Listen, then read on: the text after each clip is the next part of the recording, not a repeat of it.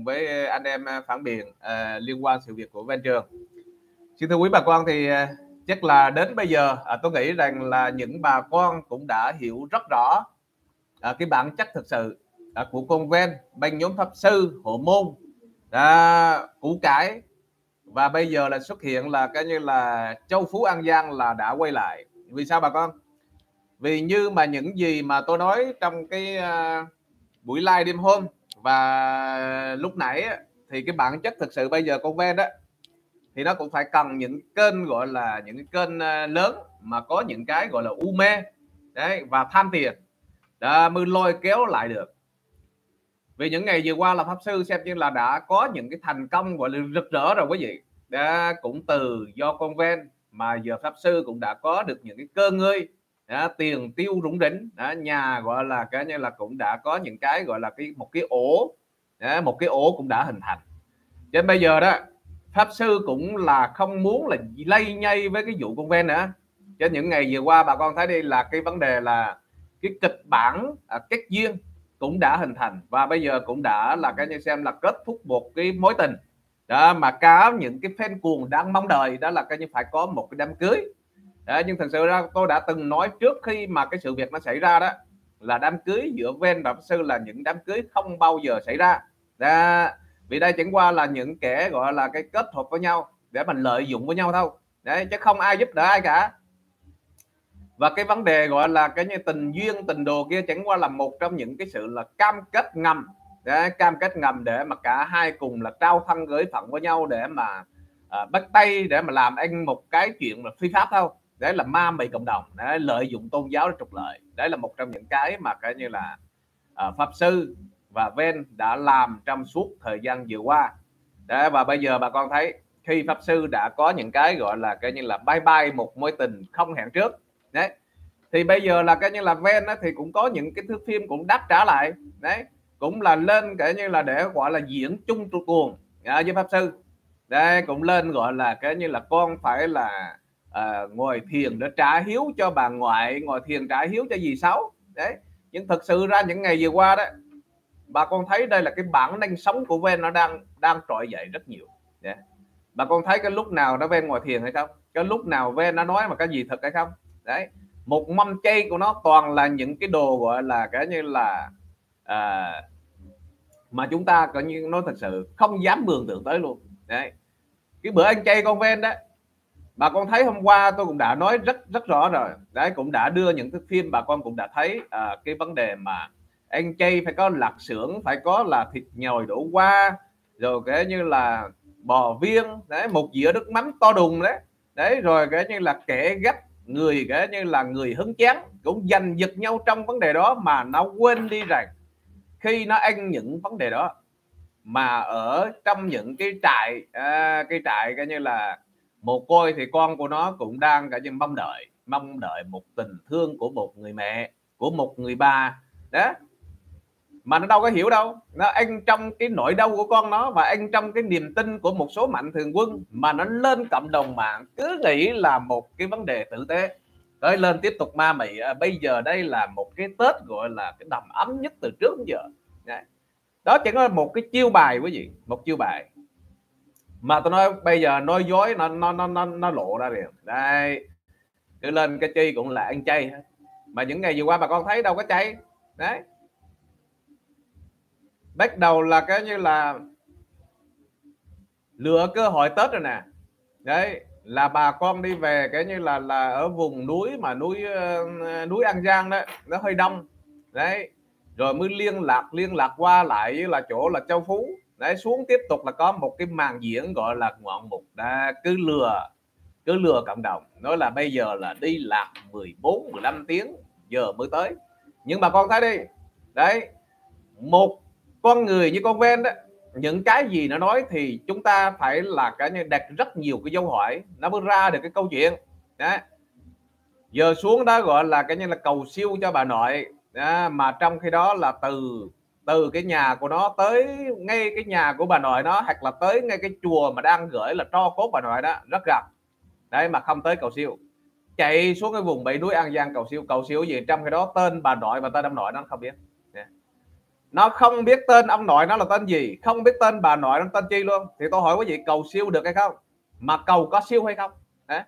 mà nếu như nó biết là cầu có siêu hay không, mà cứ lên tiếp tục ma mị, mục đích chính của nó là xuống gặp cho phú an giang. Đấy để tiếp tục bia tiếp tục có những chiêu trò mà cái như là cái chú ba mà chú gọi là chú mà uh, giảng pháp đó. đấy, cái chú đó là một trong những là người mà bị con ven như là châu phú sở mũi tiếp tục đấy. cái chú này đó nó thật sự ra chú cũng chẳng hiểu biết gì cả mà chú lên cộng đồng mạng chú tiếp tục chú ma mị cổ xí cho con ven và châu phú và con ven đang mượn cái tiếng chú này vì sao vì ít ra đó cái tiếng nói chú này nó vẫn còn có một cái sự gọi là lan tỏa ra một cái vùng. Đó, thì chắc anh khi mà những bà con trong vùng đó mà thấy chú này là ơ lên ở khen con ven ở con ven là có hành canh. Đó là những nhiều người trong khu vực đó vẫn còn tiếp tục u mê nữa. Đó là cũng giống như cái cô chỗ cô ba lý thôi. Đấy bây giờ đang lợi dụng những người gọi là có tiếng nói trong vùng đó. À, có tiếng nói trong vùng mà những người nào mà nghe tiếng nói đó những người gọi u mê mới nghe những cái vấn đề ma mị như thế quý vị. Đấy chứ còn những người họ tỉnh táo không ai mà đi nghe những cái vấn đề gọi là hành kinh hành kiếp đâu. Cái thời buổi là thời buổi kinh tế, cái thời buổi là cơm áo gạo tiền. Mà đi khuyên đi khuyên con, đi khuyên tất cả mọi người phải là nhìn theo con ven, để đầu thực hành theo con ven. Tôi hỏi quý vị, thế thì coi như là bản thân mình cái mình lấy gì mình sống. Đấy. Đấy là một trong những cái gọi là cái ngồi không mà muốn hướng hướng hướng hướng lợi. Đấy. Giờ cái xã hội này, ai cũng như con ven hết thì xã hội phát triển hay không? Rồi lấy gì bỏ cho miệng? Đấy rồi con đâu con yếu rồi lấy cái gì mà lo? Rồi cái như gia đình người thân mà cái như là thiếu ăn cái như khác mặt lắm cái gì mà cái như là là, là, là chu cấp cho người ta? Đấy. Toàn là những cái gọi là cái như là ma mị. Đấy ngồi không mà muốn người ta dân nó tận răng đó quý vị. Đấy đấy là cái đạo gì? Đấy cái đạo gì cũng vậy chứ bây giờ mình phải gọi có công mới là được thưởng mà bây giờ không có một công trạng bất kỳ cái chi đó mà cái lên cộng đồng mạng, cái tiếp tục ma mày cái tiếp tục là anh mày anh bám một cách lâu dài. Đấy. Giờ tất cả mọi chuyện lộ rồi, mà vẫn còn là cái như có những kênh nhảy vô cái cổ suy tiếp. Đấy và cụ thể nhất ở đây tôi nói là cái chỗ thành trong phú an giang. Đấy. bây giờ nó muốn trở thành pháp sư thứ hai, vì sao bà con biết không?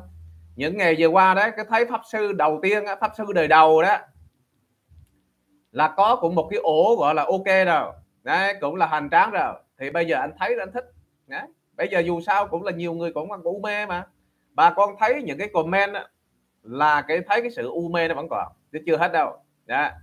cho anh lao vô anh lao vô bắt đầu anh muốn làm là cái như là là là hộ là pháp sư thứ hai. Đấy cũng muốn là để kiếm một xíu tiền. Đấy, cũng để mà xây những cái ổ như như như là pháp sư đời đầu thôi nữa cho nên bây giờ bà con thấy đi, ngay cả chị nghĩa mà chị cũng không tha luôn quý vị.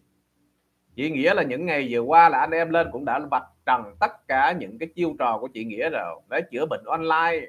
Để rồi có những cái gọi là ma mị. Nhưng bây giờ chị nghĩa vẫn lao vô để mà có chúc mừng mét chị nghĩa cũng lao chúc mừng ven đó là cái cái loại này đó quý vị thấy chỗ nào nó thối thối là cái như như cái đám kền kền, là nhảy vô thôi. Chứ đâu biết là liêm sĩ đấy. Một người tu chân chính không ai làm kiểu đó. Một người tu chân chính không bao giờ đi cổ xí cho những kẻ gọi là cái như là là mượn chính cái đạo của mình để trục lợi ở trơn quý vị đấy. mà bây giờ cái đại đa số cái vô đó là cái cổ xí vô đó là cái những cái tung hô con ven lên mà tôi hỏi quý vị bây giờ.